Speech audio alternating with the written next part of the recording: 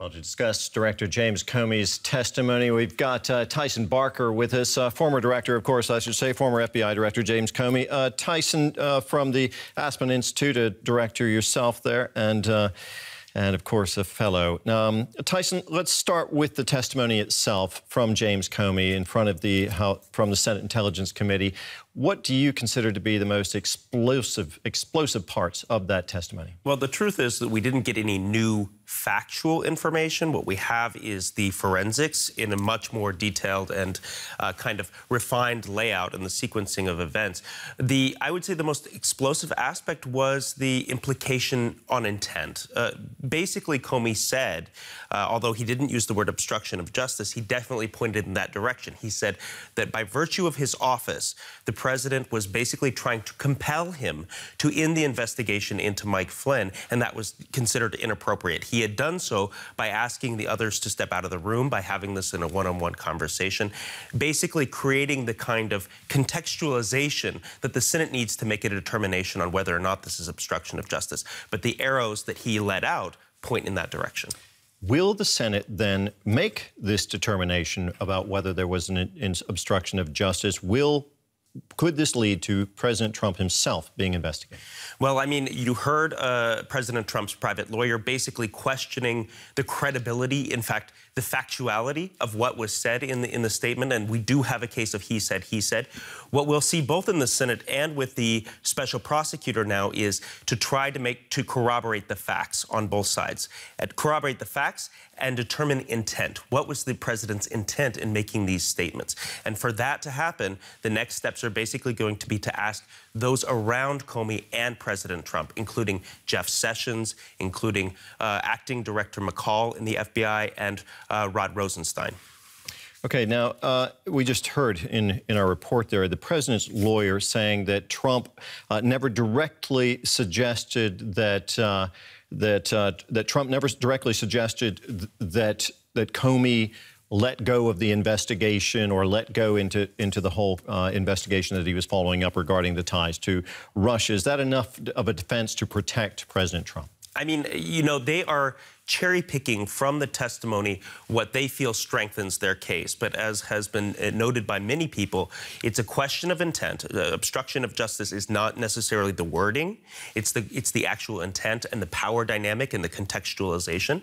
And there's a lot of information coming out, not only in this testimony, which is basically consolidates under oath a lot of information that we already had, but also the president's subsequent statements, which have been pretty. Um, uh, given robust evidence that there, there is something here to investigate. Now, top Republican leaders haven't exactly come out fighting to defend uh, the uh, Comey or even the president to some degree. Speaker Paul Ryan says Comey's testimony is explained by the fact that the president is still learning how government works. Let's listen in. He's new at government, and so therefore I think that he uh, he's learning as he goes, and he's you now know why he's frustrated because he was told nothing wrong here, and he wants to get things done for the American people. He wants to deliver on these reforms. Is that any kind of defense? The president is learning how government works? I mean, uh, they are, the Republicans, one thing that you can say is they are circling the wagons. They are still trying to protect the White House. The president still has, as a political matter, approval ratings around, in the general public, around 35%, but within the Republican base, around 70, 75%. So they are directly responding to their constituents who are supporting President Trump.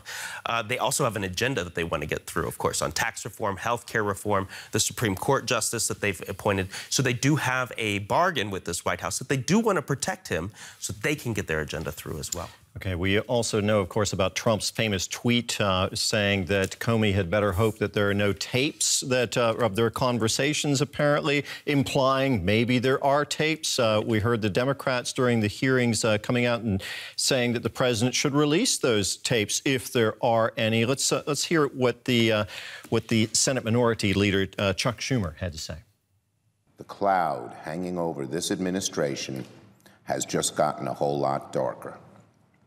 Well, the president threatened Mr. Comey with the release of tapes of their conversation. It's awfully curious that no one from the president's team will either confirm or deny the existence of the tapes. President Trump, if you disagree with anything the director said today, play the tapes for all of America to hear, or admit that there were no tapes. So, what do you think, Tyson? Are we going to see any tapes? Is that is this going to go any further? I mean, it seems like if there are any tapes, there's one thing that the Democrats, Comey, and Trump agree on, which is that they should be released. Because, of course, this would clear up any kind of questions. We talk a lot about clouds these days. That would clear up any questions regarding the credibility of Trump versus Comey, the he said, he said kind of back and forth.